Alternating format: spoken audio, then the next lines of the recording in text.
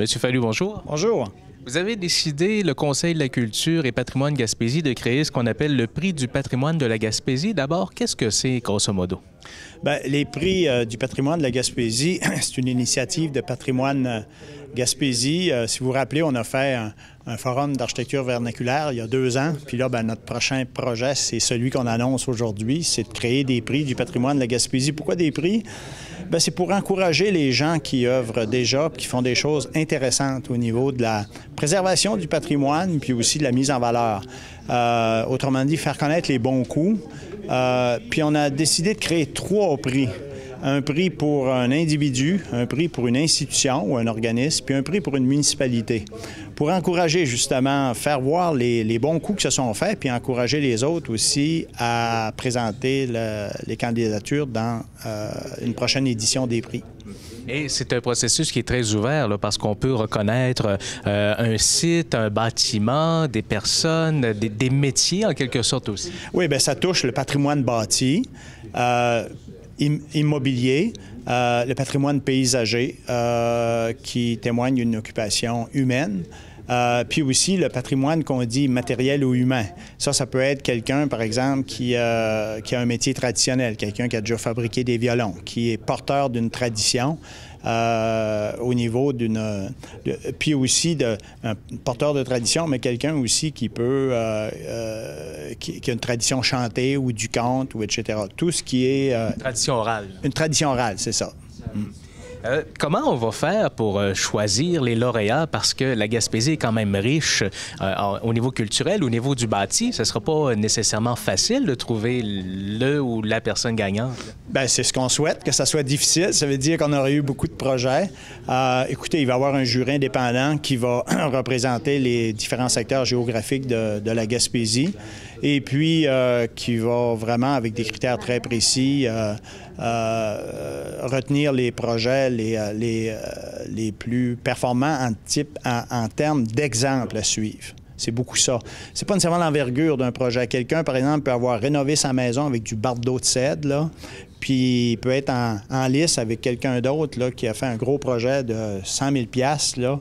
Euh, mais on peut dire que le, ce que le, cet individu-là a fait, c'est exemplaire euh, plus exemplaire qu'un autre type de projet. Alors, ça va, ça va toucher beaucoup sur le côté exemple à suivre. Euh, action, là, vraiment exemplaire à suivre. Vous ciblez la période des, cinq dernières années, finalement 2010 à 2015. Pourquoi ne pas ouvrir plus large pour une première édition, pour peut-être aller chercher des éléments plus euh, historiques, appelons ça comme ça? Bien, c'est que on sait qu'il s'est fait beaucoup de choses intéressantes au cours des, des cinq dernières années. Et puis, si on allait à plus loin, ben on aurait des projets qui, sont qui ont déjà été honorés, un peu comme si je pense au site historique du banc de Passepébiac qui date des années 70. Alors, on veut plus honorer des actions qui sont plus proches de nous, puis euh, aussi importantes que ce qui s'est fait il y a 20 ou 30 ans. Ça porte pas évidemment sur des porteurs de tradition, là, parce que quelqu'un qui a déjà fabriqué des petits bateaux miniatures, ben là, c'est tout un... Il le fait de génération en génération. Alors là, les cinq ans ne s'appliquent pas, euh, tout comme un porteur de tradition, un chanteur ou un conteur. Euh, les objectifs, au bout du compte, c'est ça, c'est de reconnaître la valeur historique de tout ce qui se fait en Gaspésie.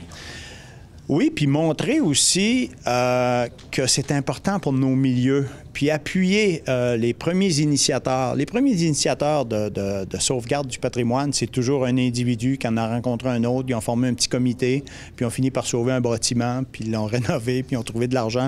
Alors, c'est montrer l'importance de, c'est de valoriser ces actions-là qui sont vraiment exemplaires à suivre, puis aussi de faire en sorte de euh, que ça peut être un, individu sur le plan individuel, un propriétaire de maison qui a lui-même pris la décision de rénover sa, maison.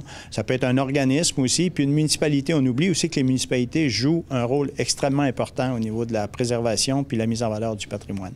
Vous avez profité euh, de la conférence de presse pour, en quelque sorte, sensibiliser aussi les, décideurs à garder ce patrimoine, euh, que ce soit paysager ou bâti, en citant l'exemple de la CEPAC à Percé.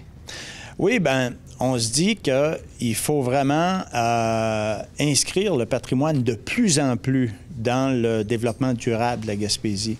On se préoccupe du patrimoine paysager, oui, mais le patrimoine bâti, On ne l'a jamais, euh, sauf des sites là, select comme Passepébiac, le manoir Le Boutillier, des bâtiments anciens de grande valeur.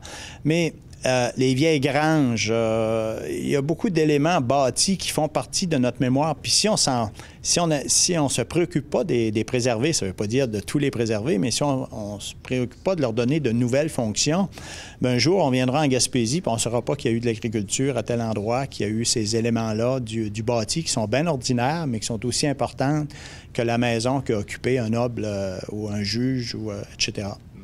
Euh, vous lancez le concours aujourd'hui, les bulletins de mise en candidature, les candidatures jusqu'au 20 mars. Ça laisse pas beaucoup de temps pour des gens pour présenter un, beau dossier? Oui, mais en général, un mois, c'est suffisant. C'est euh, les formulaires, là, on va sur le site de Patrimoine Gaspésie ou du Conseil de culture, puis on va voir que c'est pas tellement long à remplir. Euh, puis vous savez, comme moi, des fois, on peut demander trois mois, puis les gens vont travailler le dernier mois.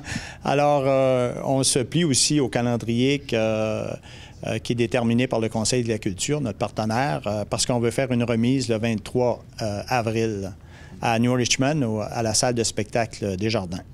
Je déborde un peu. On a parlé de paysages tout à l'heure. Il y a une charte des paysages qui a été adoptée il y a à peu près deux ans maintenant en Gaspésie.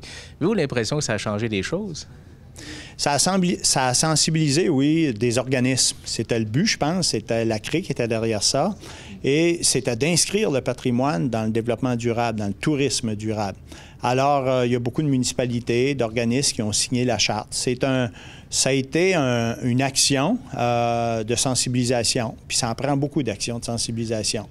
Euh, la ville de Gaspé est en train d'en préparer une. Alors, ça, a eu, ça, vient, de, entre autres, de l'exemple régional de la Charte des paysages. Merci beaucoup, M. Fallu. Merci.